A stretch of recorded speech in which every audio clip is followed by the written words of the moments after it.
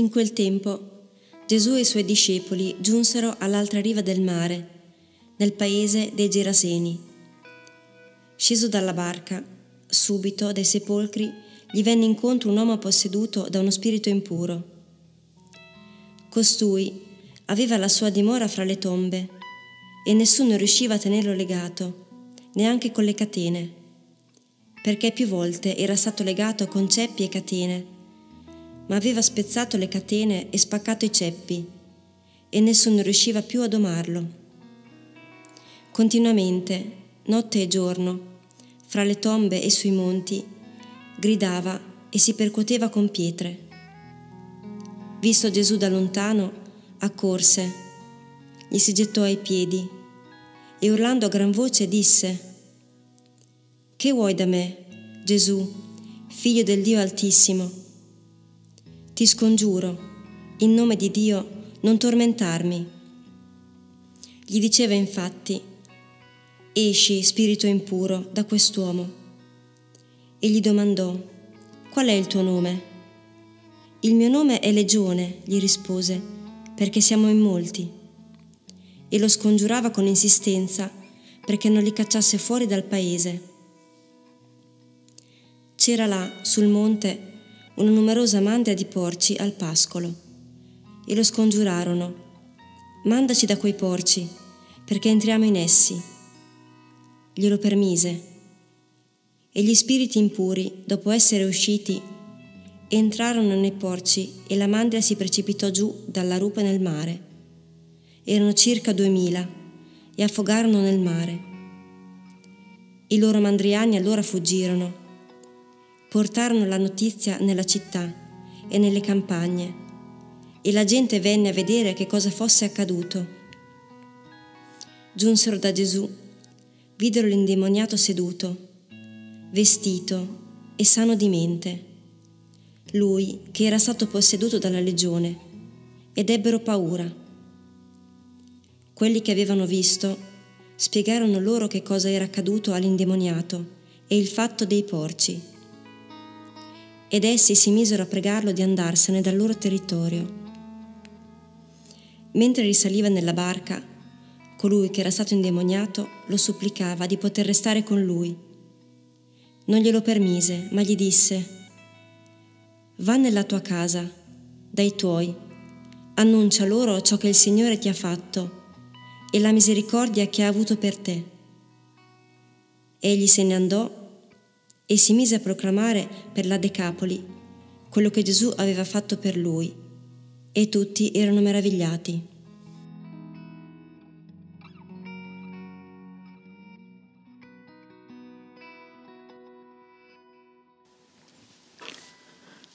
Lo scenario del primo atto del Vangelo potrebbe certamente dare spunti utili a qualche regista di questi serial horror che così piacciono oggi ai nostri adolescenti.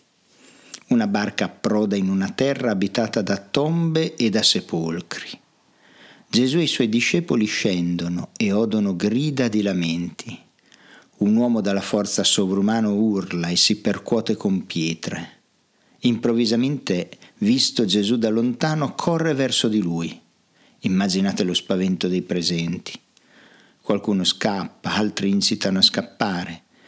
Gesù invece rimane fermo da subito non vede in questo energumeno una minaccia per la sua vita.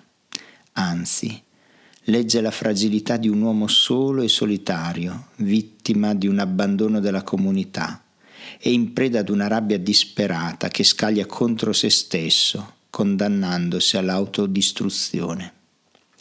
Così la corsa si arresta ai piedi del Maestro. Gesù non perde la serenità e lo minaccia, esci da quell'uomo. Arriva così il secondo atto, la liberazione dal demonio. E qui non posso non andare all'esperienza dei primi anacoreti, i quali sceglievano questi luoghi deserti e impervi, molto simili allo scenario del Vangelo, proprio per combattere il demonio. Volevano mantenere alto l'ideale che fu dei primi martiri, i quali hanno dato la vita per Gesù. Ma al di là della spinta idealistica, l'anacoretismo non ebbe un gran successo A parte qualche figura di santità, i più erano maltrattati dagli spiriti maligni. Si racconta che i demoni arrivavano anche a dominare alcuni monaci, tanto da possederli. Le storie monastiche descrivono i sintomi più disparati in queste possessioni. Monaci che arrivavano a mangiare le proprie feci, altri che si graffiavano così in profondità da procurarsi delle ferite, altri ancora che venivano sbattuti di qua e di là e spinti al suicidio. Pochi in realtà vincevano questa lotta, perché il vivere in solitudine non è l'ordinario della vita cristiana, se non in eccezioni significative come ad esempio Sant'Antonio del Deserto. Costui sì ha combattuto i demoni e ha permesso che Gesù li vincesse. E allora sentite cosa accadeva nel sepolcro dove Antonio il Santo ha vissuto. In quella notte i demoni fecero tanto rumore che tutto il luogo sembrava scosso e, come se essi stessi avessero abbattuto le quattro pareti del sepolcro, parvero penetrare attraverso le mura assumendo l'aspetto di fiere di rettili. In breve tempo tutto il luogo fu pieno di fantasmi, di leoni, di orsi, di leopardi, di tori, di serpenti, di aspidi, di scorpioni, di lupi. Ognuno di essi si comportava secondo la figura che aveva assunto. Ma Antonio, colpito e pungolato da quelli, avvertiva anche più forte il dolore del suo corpo tuttavia giaceva impavido e sveglio. Gemeva per le sofferenze del corpo, ma lucido nella mente, quasi schernendoli, diceva loro Se voi aveste qualche potere, sarebbe bastato che uno solo di voi venisse.